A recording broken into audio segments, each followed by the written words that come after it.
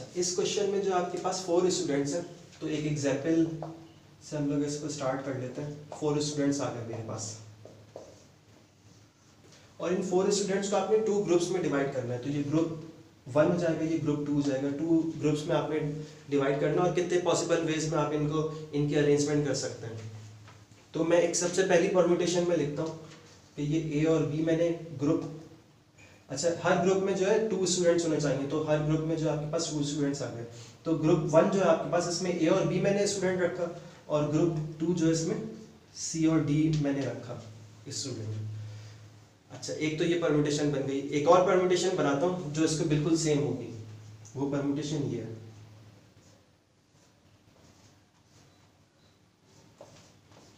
Group one में जो है मैं रख रहा हूँ बी ए और ग्रुप टू में जो रख रहा हूँ, सी और डी रख रहा हूँ। तो अब आप ये देखें, ये जो परम्यूटेशन बनी हुई है और ये वाली जो परम्यूटेशन बनी हुई है, ये दोनों इक्वल है। इसमें कोई फ़र्क नहीं है।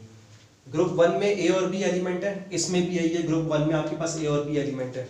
तो ग्रुप के अंदर जो आप इंटरचेंज कर रहे हैं ना, वो तो मैटर नहीं कर रही। इसी तरह इस ग्रुप में भी आप इंटरचेंज करेंगे। एक ग्रुप में आपके पास सी डी है या डी सी है, ये मैटर नहीं कर रहा आपके पास। तो in the inside the group जो है आपके पास इंटरचेंज मैटर नहीं कर रहा तो इसका आंसर जो होना चाहिए था आपके पास, अगर आप एक सीक्वेंस में इसको अरेंज करते हैं तो इसका आंसर होना चाहिए था फोर फैक्टोरियल अगर आप सीक्वेंस में अरेंज करते हैं। क्योंकि आपके पास इसका ऑर्डर जो है वो मैटर नहीं कर रहा है इनसाइड द ग्रुप इसमें भी ऑर्डर मैटर नहीं कर रहा है, इसका मतलब है ये सेम काइंड के एलिमेंट्स आ जाएँगे। ये से ये जो आपके पास आइडेंटिकल एलिमेंट आ जाएँगे। तो आइडेंटिकल एलिमेंट वाला थ्योरम हम अप्लाई करेंगे।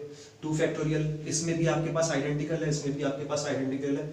इनको इंटरचेंज करने से ऑर्डर इसका मैटर नहीं कर रहा। तो कोई सेंस नहीं बन रहा उससे। ग्रुप तो वही बन रहा है आपके पास। ठीक है, एक तो ये बात हो गई तो इतने पॉसिबल वेज में आंसर आ जाना चाहिए इसका। ठीक है? तो इसका आंसर जो होना चाहिए, वो होना चाहिए सिक्स आंसर होना चाहिए इसका। तो अब मैं इसके तमाम पॉसिबल वेज बना लेता हूँ। ए बी के साथ रखा ए को सी के साथ रखता हूँ ए को डी के साथ। ये हो गए ए के सारे। फिर बी को ए के साथ नहीं रख सकता, ये हो गया बी ए बी को सी के साथ रखते हैं बी को डी के साथ रखते हैं। उसके बाद सी को जो है हम डी के साथ रखेंगे। डी सी जो है वो वैसे सबके साथ आ गया, सिर्फ़ डी के साथ नहीं आया था। और डी जो है फिर बाकी सबके साथ आ जाएगा। अच्छा ये ग्रुप वन है आपके पास? ग्रुप वन है। तो ए सी है तो ग्रुप टू में क्या आएगा आपके पास? बी और डी आएगा। बी और सी आ जाएगा। ए और डी आ जाएगा। ए सी आ जाएगा। बी आ जाएगा। ये आपके पास बन गए total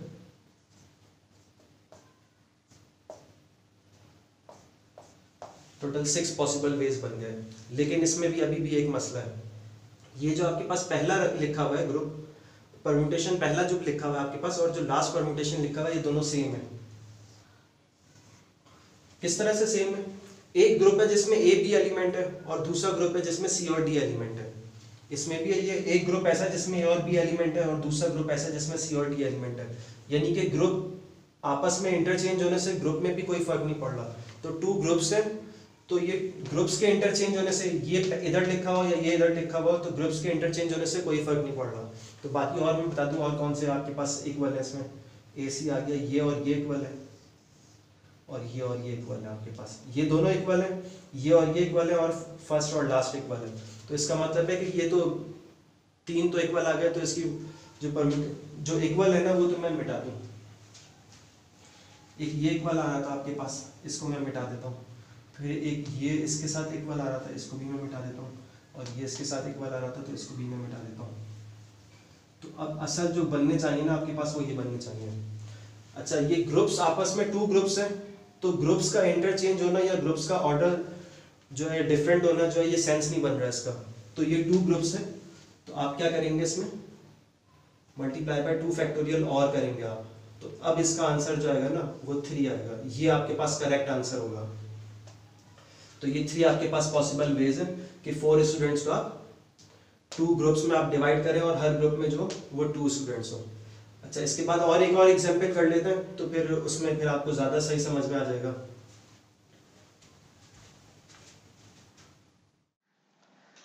अच्छा ये क्वेश्चन भी पहले वाले क्वेश्चन की तरह है। इसमें ट्वेल्व स्टूडेंट्स हैं और थ्री ग्रुप्स में इनको डिवाइड करना है। ट्वेल्व स्टूडेंट्स को थ्री ग्रुप्स में इक्वली डिस्ट्रीब्यूट करना है। यानी कि एक ग्रुप में आपके पास फोर मेंबर्स आ जाएँगे। तो ठीक है, ये मैं आपके पास थ्री ग्रुप्स मैंने बना लिए। ये एक ग्रुप जो है, ये फोर स्टूडेंट्स का है। ये दूसरा वाला ग्रुप जो है, ये भी फोर स्टूडेंट्स का है। ये तीसरा वाला ग्रुप जो है, ये भी फोर स्टूडेंट्स का है। तो ये टोटल इस तरह से ट्वेल्व अरेंजमेंट्स हो जाएँगी मेरे पास। तो पहले ग्रुप में मैं person A person B person C person D जो है प्लेस कर दिए मैंने पहले ग्रुप में। इसी तरह दूसरे ग्रुप में भी फोर मेंबर्स आ जाएँगे, तीसरे ग्रुप में भी फोर मेंबर्स आ जाएँगे, ठीक है? तो इसका आंसर क्या बनता है आपके पास? ट्वेल्व फैक्टोरियल बनता है। लेकिन जो ग्रुप के अंदर इनसाइड द ग्रुप जो आपके पास ऑर्डर है ना, वो मैटर नहीं कर रहा। कि जैसे अगर मैं ये बोलूँ कि बी ए सी डी ये पहले ग्रुप में, या मैं ये बोलूँ कि ए बी सी डी ये पहले ग्रुप में तो है तो वो चारों ही पहले ही ग्रुप में उसको आगे पीछे बोलने से कोई फ़र्क नहीं पड़ेगा। तो इसका मतलब है ये आपके पास जो है ये फोर एलिमेंट्स जो हैं ये आपके पास आइडेंटिकल आ रहे हैं। इनको चेंज करने से कोई फ़र्क नहीं पड़ रहा आपके पास। तो ये फोर फैक्टोरियल से डिवाइड होगा क्योंकि आइडेंटिकल है। इसी तरह नेक्स्ट ग्रुप में भी यही है कि इनकी पोजीशन चेंज करने से कोई फ़र्क नहीं पड़ रहा। तो ये आइडेंटिकल हो जाएँगे आपके पास। इसी तरह लास्ट ग्रुप में भी यही है। तो मैं क्या करूँ? फोर फैक्टोरियल से डिवाइड करा लेता हूँ पहले ग्रुप के लिए। दूसरे ग्रुप के लिए भी यही करता हूँ फोर फैक्टोरियल से डिवाइड करा लेता हूँ। तीसरे ग्रुप के लिए भी यही करता हूँ कि फोर फैक्टोरियल से डिवाइड करा लेता हूँ। तो यहाँ तक तो ये बात हो गई कि ग्रुप के अंदर जो है एलिमेंट्स को इंटरचेंज करने से कोई फ़र्क नहीं पड़ेगा। इसका ऑर्डर मैटर नहीं करेगा तो आप थ्योरम अप्लाई कर सकते हैं वो डिवाइडेड बाय एन फैक्टोरियल वाला। अच्छा अब ये जो ग्रुप आपके पास, पहला ग्रुप जो है, इसमें ए बी सी एलिमेंट है। अगर इस ग्रुप को उठा के आखिर में रख दें तो भी पहले तो भी उसी ग्रुप में जो है ए बी सी एलिमेंट होंगे। तो ये ग्रुप जो आपस में इंटरचेंज हो रहे हैं ना, इससे भी कोई फ़र्क नहीं पड़ेगा। पहले ग्रुप को बाद में लिखूँ या बाद वाले ग्रुप को पहले लिख बोलूँ मैं तो इससे भी कोई फ़र्क नहीं पड़ेगा। तो ग्रुप्स की परम्यूटेशन भी जो है ना, वो मैटर नहीं कर ऑर्डर जो है ग्रुप्स का, वो मैटर नहीं कर रहा। तो आप क्या करेंगे, इसको भी थ्री ग्रुप्स हैं आपके पास तो थ्री फैक्टोरियल से आप इसको डिवाइड करेंगे। थ्री फैक्टोरियल से डिवाइड कर देंगे, और बस अब ये इसका आंसर आ जाएगा आपके पास।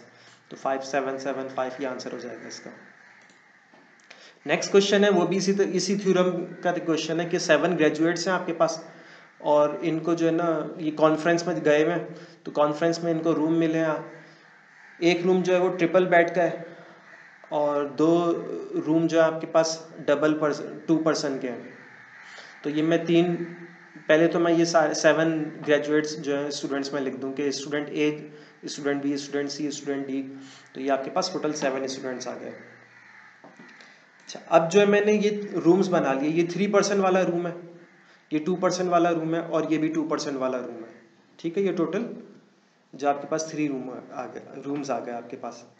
इनमें मैं सबसे पहली परमोटेशन में लिखता हूँ कि ए बी सी को जो है ना मैं थ्री रूम वाले में जो है मैं शिफ्ट कर देता हूँ थ्री परसेंट वाले रूम में शिफ्ट कर देता हूँ।